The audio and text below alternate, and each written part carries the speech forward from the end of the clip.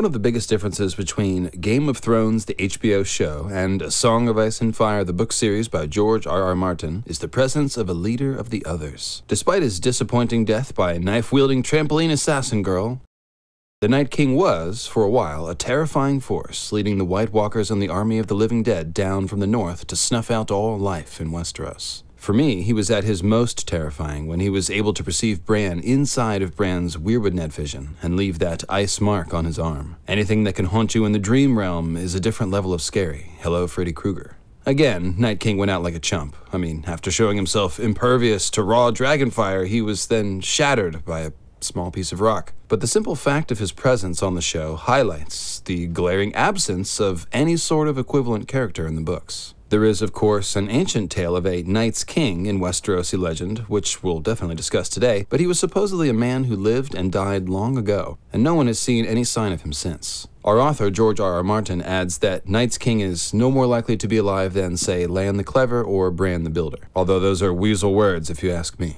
So, yes, the book version of the White Walkers of the Woods appear to have no leader. But I'm here today to tell you that that was not always the case. Not only was there once a king and queen of the others, I believe that the first Night's King and Queen were in fact the creators of the others. Later in this video series, I'll tell you who I think the original Night's King was, and who might emerge as a new Night's King, as a new leader of the others. So strap in and let's dive back into the symbolism of the others to find their origins. Hey there friends, it's Lucifer Means Lightbringer, and if you'd like to help me keep growing my channel, please click the like button and share this video on social media. And I notice some 40% of you watching these videos aren't subscribed to the channel, so please hit that red subscribe button and the notification bell. I'm a hard-working dragon over here. If you want to support the program directly, you can check out our Patreon campaign at lucifermeanslightbringer.com, or you can make a one-time donation by going to paypal.me slash mythicalastronomy. All right, now let me tell you all about the once and future Night's King. Alright, now at the end of Symbolism of the Others, The Kingsguard, which you've hopefully watched, I left you with a cliffhanger. After spending 20 minutes convincing you beyond the white shadow of a doubt that the White Knights of the Kingsguard are serving as symbolic proxies for the others, dressed in all the same descriptive icy language, I posed the question, why did George do this? And then ended the video. You all seem to have liked that. I got a ton of great comments and theories on what George is saying. Many of you zeroed in on the fact that the Kingsguard were created to guard the king, which implies the others should have a king, just like they do on the show, or maybe even a queen, or both. I do think the others did have both a king and a queen in the past, and will have one or both again soon. Of course, we have to start with the original, the OG Night's King and Queen. Bran hears the legend of Night's King from Old Nan, of course, and he relays it to the reader in A Storm of Swords while they're staying at the Night Fort, where Night's King lived. It's a slightly longer quote, but it's one of the best, so I've brought in a talented pinch voice actor.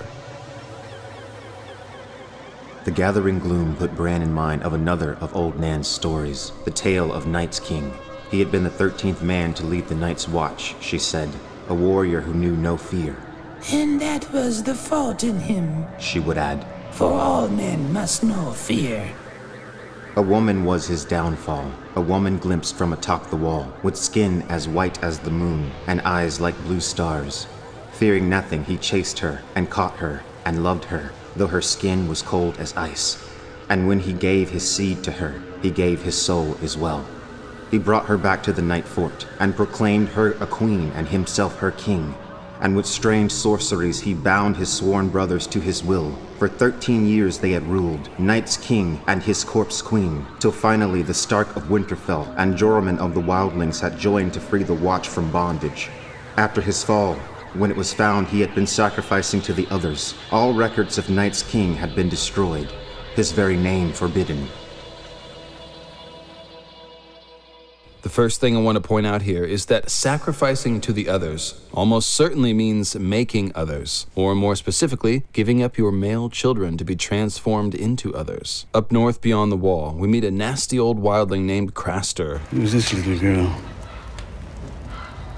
You're prettier than half my daughters. Who also sacrifices to the others, which Jon describes as giving his sons to the wood, meaning the White Walkers of the wood. Gilly, afraid for her own son, tells Jon that he gives his boys to the gods, going on to elaborate that she means the cold gods, the ones in the night, the white shadows. Then, after Gilly asks Sam, Sam the Slayer, to help her escape with her son, saying, If you don't take him, they will, Sam asks who they are.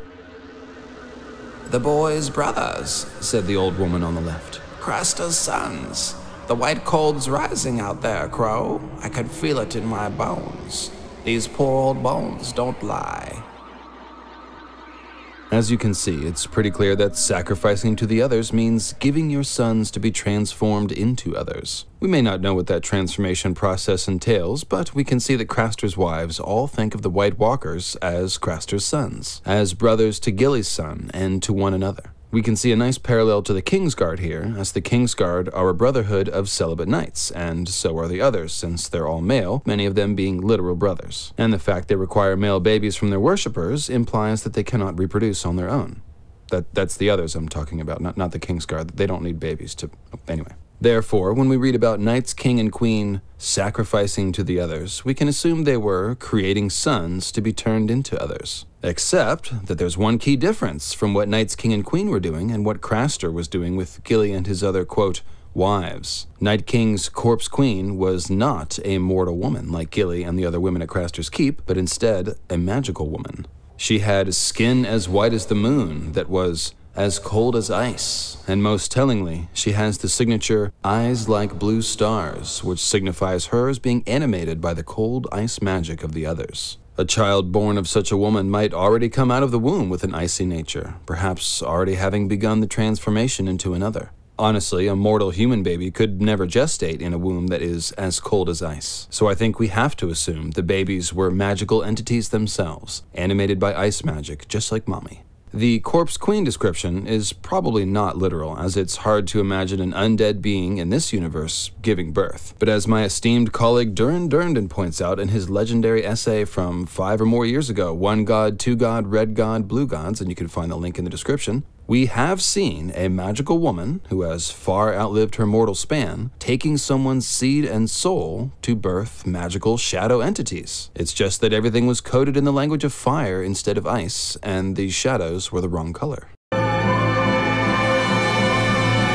As I was saying, it is an established fact in this universe that magical women can take the seed of a mortal man and give birth to magical shadow entities. You are the mother of darkness. I saw that under Storm's End when you gave birth before my eyes. Is the brave Sir Onion so frightened of a passing shadow? Take heart then. Shadows only live when given birth by light, and the king's fires burn so low I dare not draw off any more to make another sun. It might well kill him. Melisandre moved closer. With another man, though, a man whose flames still burn hot and high. If you truly wish to serve your king's cause, come to my chambers one night. I could give you pleasure such as you have never known, and with your life fire I could make. A horror. Davos retreated from her. I want no part of you, my lady, or your god. May the Seven protect me. Melisandre and Davos are, of course, referring to the shadow baby, if you will, that Mel birthed beneath Storm's End, a shadow which Davos immediately recognized as Stannis. We know that Stannis experiences the killing of Renly while dreaming, which was also done by one of Melisandre's shadow babies, so we know that he remains linked to his shadow son, which is made of his essence, his life fires, as Mel puts it. So what we have here is more or less a perfect temperature inverted parallel. Night's Queen, a being animated by ice magic, takes the seed and soul of Night's King and creates magical white shadow beings, while Melisandre, animated by fire magic, draws from the life fires of Stannis to make magical black shadow beings. One shadow's made with ice magic and it appears white, and the other's made with fire magic and appears black, but these shadows do appear to be somewhat similar in nature, as they are both created to kill, and they're both susceptible to magical wards. Melisandre says that she has to give birth to the shadow baby inside the walls of Storm's End because this Storm's End is an old place. There are spells woven into the stones, dark walls that no shadow can pass, ancient, forgotten, yet still in place. Similarly, Samwell tells Bran what Cold Hands told him about the wall. It's more than just ice and stone, and that there are spells woven into it, old ones and strong, that prevent Cold Hands from passing. Presumably, these spells are the ones which keep the others out, and so we're left with Mel's shadows and the White Shadows of the North both being kept out by magical wards, and therefore similar types of entities on some level. The primary difference, besides color and ice versus fire, is that the shadow babies Mel and Stannis make do not stick around like the others do. However, it's pretty easy to imagine that there might be some further sorcery involved in getting such a shadow child to have a semi permanent body as the others do. Maybe some sort of shadow binding, or further human sacrifice, or the involvement of weirwood magic, which also seems to be a part of the process of creating the others. And yes, I'll definitely have a symbolism of the others the Weirwoods video coming out soon to talk about that. Sacrificing to the others, then, is essentially a euphemism. What Night's King and Queen created at the Night Fort was a white shadow factory. They were creating their own Kingsguard of snowy white knights in ice armor, their own white swords.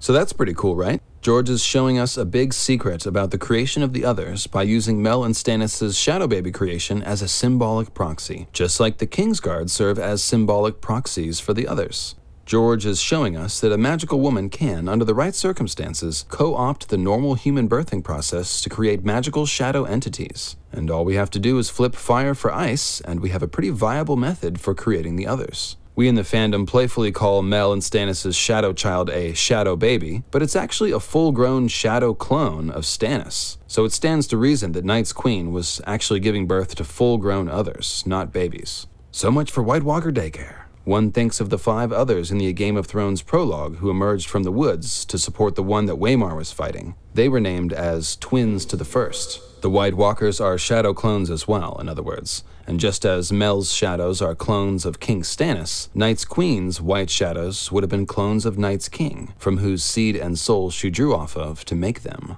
All of this makes it likely that this is indeed the origin of the White Walkers, that Night's King and Queen made the first others. Craster and Gilly can't make White Walkers directly because Gilly isn't animated by blue star eye magic and her womb isn't cold as ice. But Night's King and Queen would have been able to do so. They wouldn't have needed White Walkers to have already existed to make more. And what's the point of showing us this if not to show us the origin of the first others? It's important to understand that Melisandre is more than a magical woman.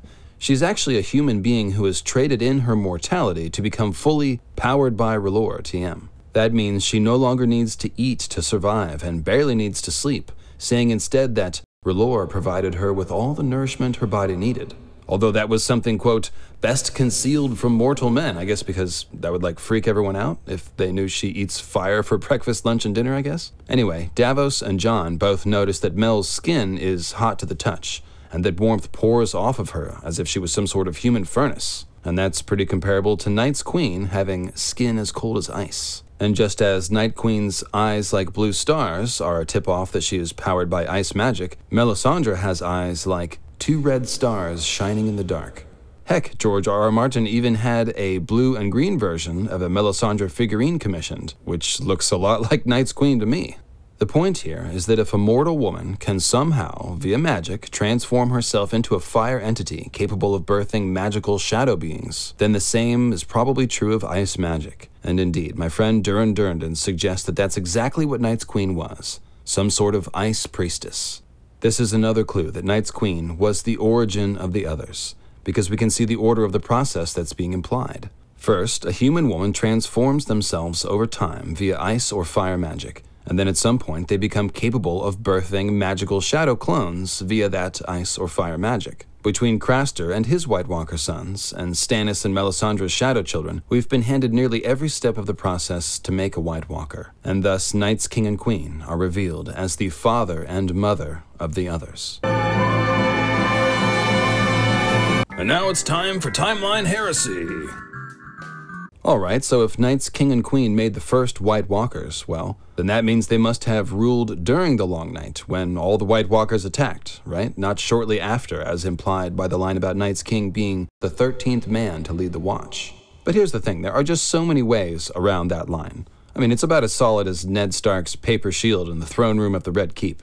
Start with the fact that we're talking about five to 10,000 year old history that wasn't written down until thousands of years after the fact, none of the details of which should be definitively taken as literal or factual. For example, the number 13 may be symbolic. After all, Night's King was also said to have ruled for 13 years, and I suppose maybe it's just a coincidence that he was the 13th Lord Commander who ruled for 13 years. But then we have the Last Hero story, which occurs in roughly the same time and place and involves one guy with 12 companions for yet another 13. Some have speculated that the last hero and his dozen companions actually could have become Night's King and the first others. Or it could be that Night's King and Queen made 12 others for their King's Guard, if you will. For what it's worth, the HBO show did give us 12 White Walkers flanking the Night King when they took Craster's son to the White Walker Temple for transformation.